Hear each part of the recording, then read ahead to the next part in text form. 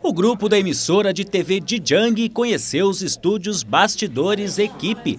Nada passou despercebido aos olhos dos profissionais de comunicação que vieram ao Brasil para cobrir os Jogos Olímpicos Rio 2016.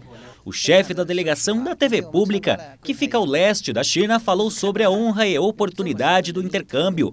Além disso, elogiou o trabalho feito pelos profissionais da TV.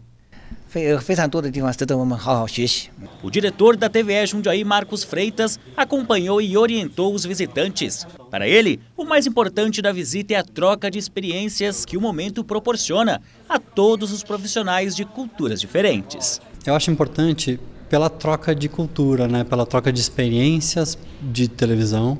É uma televisão de uma outra realidade, né? Lá na China eles têm uma outra cultura, uma outra realidade. Então eles vêm aqui conhecer o que a gente faz, saber como a gente funciona. E isso pra, é muito importante para gerar esse conhecimento mesmo.